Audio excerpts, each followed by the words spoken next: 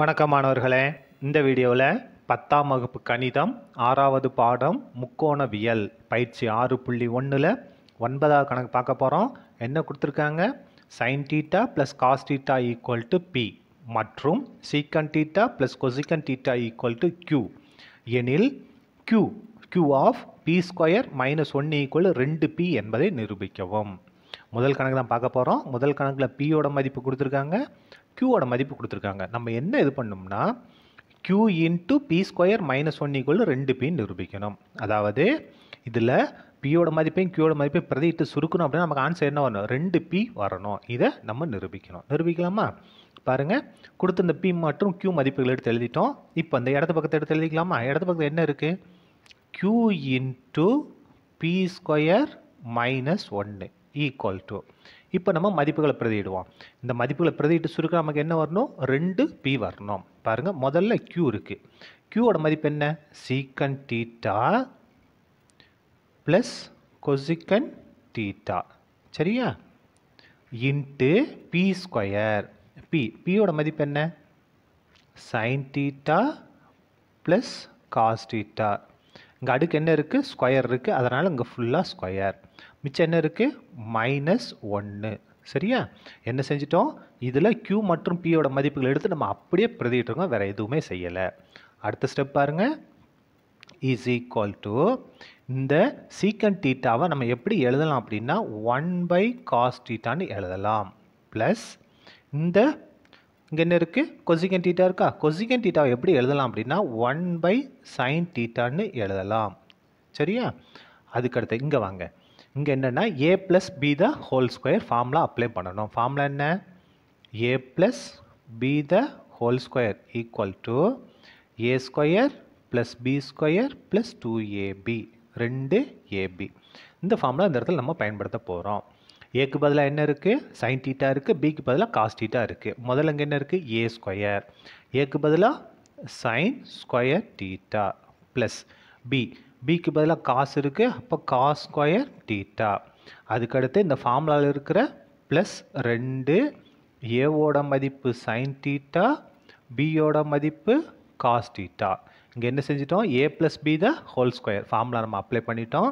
இங்கே மிச்சம் என்ன இருக்குது இந்த மைனஸ் ஒன்று அப்படியே வந்துடும் மைனஸ் ஒன்று அப்படியே வந்துடும் சரியா? அடுத்த ஸ்டெப் பாருங்கள் இஸ் ஈக்குவல் டு இங்கே குறுக்கு பெருக்கல் எடுத்துடலாமா? குறுக்கு பெ முதல்ல பகுதியை பெருக்கணும். காஸ் டீட்டாவையும் சைன் டீட்டாவும் பெருக்கினா என்ன வரும்? Cos theta into sine theta இப்போ குறுக்க பெருக்க வரும். ஒன்னையும் சைன் டீட்டாவும் பெருக்கணும் அப்படின்னா நமக்கு என்ன வரும்? சைன் டீட்டா தான் வரும். ப்ளஸ் ஒன்னையும் காஸ் டீட்டாவும் பெருக்க நமக்கு என்ன வரும்? காஸ் டீட்டா தான் வரும். பெருக்கிட்டோமா? இப்போ பாருங்கள் அதுக்கு அடுத்தது இதோட மதிப்பு என்ன? உங்களுக்கு தெரியும். Sine square theta plus cos square theta அப்படின்னா அதோட மதிப்பு ஒன்று. சரியா? ப்ளஸ் ரெண்டு sine theta into cos theta இதோட மதிப்பு ஒன்று இந்த இது அப்படியே வந்துடுச்சு இந்த மைனஸ் ஒன்றும் அப்படியே வந்துடுச்சு சரியா? இப்போ பாருங்கள் ப்ளஸ் ஒன்றும் மைனஸ் ஒன்றும் கேன்சல் ஆயிரும். மிச்சம் என்ன இருக்குது பாருங்கள் இங்கே என்ன இருக்குது sine theta plus cos theta by cos theta into sine theta எந்த மாற்றமும் இல்லை. இங்கே கேன்சல் ஆனது போக மிச்சம் என்ன இருக்குன்னா ரெண்டு சைன் இன்ட்டு காஸ்டிட்டா இது மட்டும்தான் மிச்சம் இருக்குது இப்போ எது கேன்சல் ஆகும் பாருங்க. இந்த காசு இந்த காசு இந்த சைன் இந்த சைன் கேன்சல் ஆகும். மிச்சம் என்ன இருக்குது sine theta in sine plus cos theta into ரெண்டுன்னு இருக்குது பெருக்கல் இருக்கா? அப்போ இதை முன்னால் கொண்டு வந்து எழுதிடலாமா? ரெண்டு. இதில் இங்கே என்ன இருக்குது சைன் ப்ளஸ் காஸ் டீட்டா அவ்வளோதான் இதுக்கு மேலே சுருக்க முடியாது. ஈக்குவல் டு ரெண்டு. சைன் டீட்டா ப்ளஸ் காஸ் டீட்டானா அது எதோட மதிப்பு? சைன் டீட்டா ப்ளஸ் காஸ்ட்னா அது வந்து பியோட மதிப்பு. அப்போ என்ன செஞ்சுக்கலாம்? அந்த சைன் டீட்டா காஸ் பதில் நம்ம என்ன எழுதிக்கலாம்?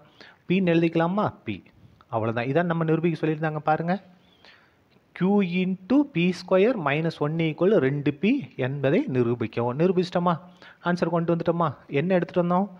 Q into Q into P square minus ஒன்று ஈக்குவல் டு ரெண்டு பி என்பது நிரூபிக்கப்பட்டது. சரியா? என்பது நிரூபிக்கப்பட்டது. முதல் கணக்கை நம்ம முடிச்சிட்டோம். அடுத்தது இரண்டாவது கணக்கு என்ன கொடுத்துருக்காங்க? Sine theta into one plus sine square theta equal to cos square theta எனில் காஸ் அடுக்கு ஆறு டீட்டா மைனஸ் நாலு காஸ் அடுக்கு நாலு டீட்டா ப்ளஸ் எட்டு cos square theta equal to நாலு என்பதை நிரூபிக்கவும். இப்போ என்ன செய்யணும் அப்படின்னா இதை எடுத்துக்கிட்டு நம்ம சுருக்கணும் அப்படின்னா நம்ம என்ன செஞ்சிடலாம் இந்த ஆன்சர் நம்ம கொண்டு வந்துடலாம். நல்லா பார்த்துங்க இதை எடுத்துக்கிட்டு இந்த ஆன்சர் நம்ம கொண்டு வர போகிறோம் இந்த கணக்கில் என்ன இருக்குது பாருங்கள் காசு காசு காசு எல்லாமே எப்படி இருக்குது காசாக இருக்குது அப்போ நம்ம என்ன செய்யணும் அப்படின்னா முதல்ல இங்கே இருக்க சைன் இருக்குல்ல அந்த சைன் எல்லாத்தையும் நம்ம காசாக மாற்றணும் காசாக மாற்றி சுருக்கிட்டோம் அப்படின்னா நமக்கு என்ன வந்துடும்? தானாகவே நமக்கு இந்த ஆன்சர் வந்துடும் சரியா? இப்போ பாருங்க இதை எடுத்துக்கிட்டு தான் நம்ம இந்த ஆன்சரை நம்ம கொண்டு வர போகிறோம் இதை எடுத்து எழுதிக்கலாமா?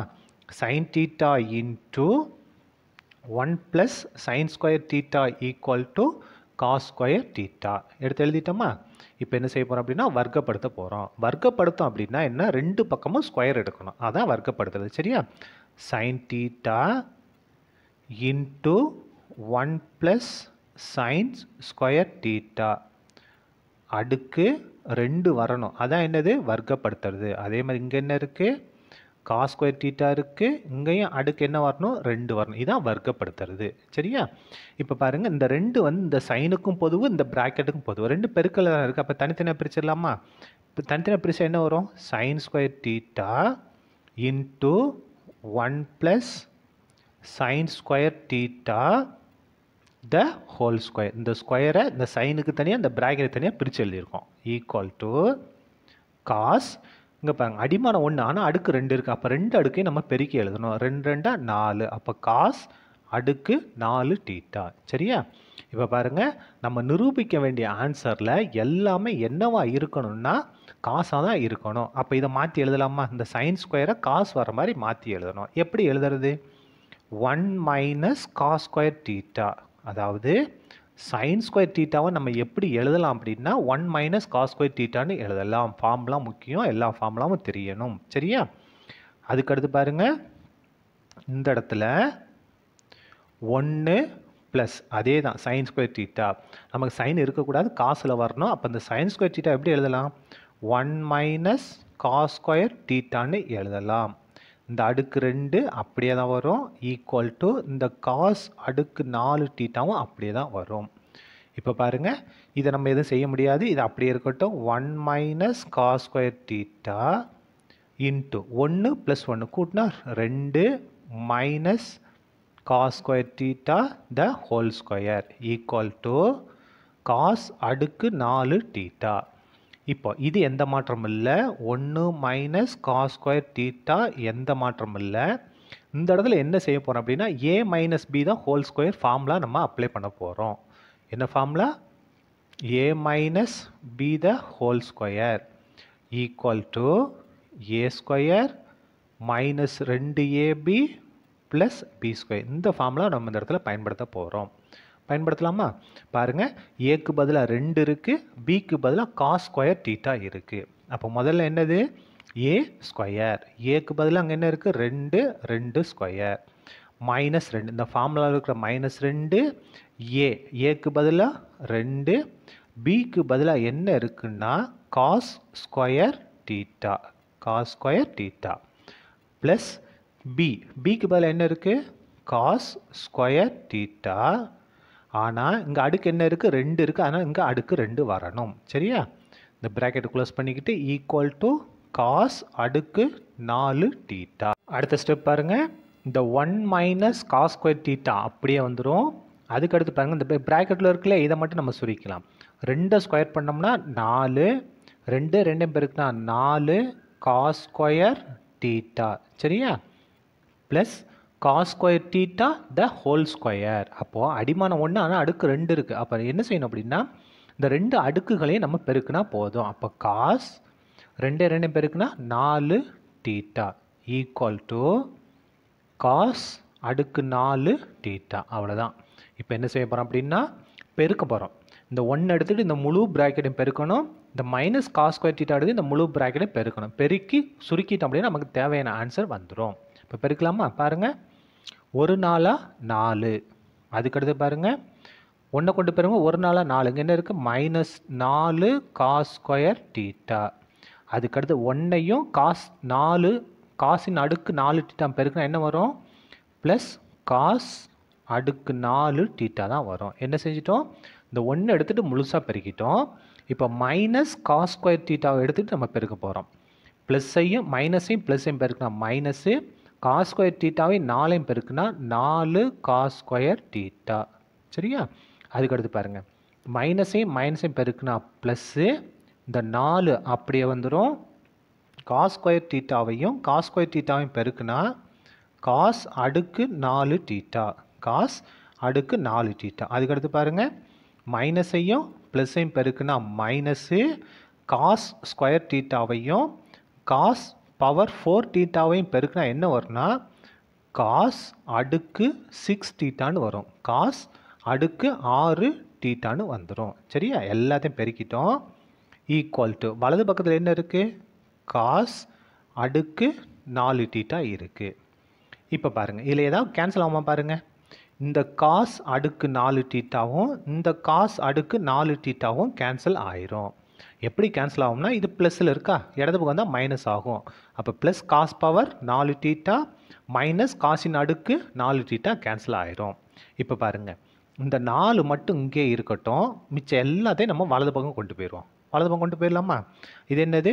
மைனஸில் இருக்குது வலது பக்கம் கொண்டு வந்தால் ப்ளஸ் நாலு காஸ் ஸ்கொயர் டீட்டா அடுத்தது மைனஸ் நாலு காஸ் ஸ்கொயர் டீட்டா வலது பக்கம் கொண்டு வந்தோம்னா ப்ளஸ் நாலு காஸ் ஸ்கொயர் டீட்டா ப்ளஸ் நாலு காசின் அடுக்கு நாலு டீட்டா இடது பக்கம் கொண்டு வந்தால் மைனஸ் நாலு காசின் அடுக்கு நாலு டீட்டா அதுக்கடுத்து பாருங்கள் இது மைனஸ் காசின் அடுக்கு ஆறு டீட்டா வலது பக்கம் கொண்டு வந்தால் ப்ளஸ் காசின் அடுக்கு ஆறு டீட்டான்னு வந்துடும் இப்போ பாருங்கள் என்ன செய்ய போகிறோம் அப்படின்னா நாலு ஈக்குவல் டு இதில் மிக உயர்ந்த அடுக்கு தான் நம்ம முதல்ல எழுதணும். உயர்ந்த அடுக்கு என்ன? காசின் அடுக்கு ஆறு டீட்டா. அதுக்கடுத்து என்ன வரணும்? அடுக்கு நாலு வரணும். மைனஸ் நாலு காசின் அடுக்கு நாலு டீட்டா.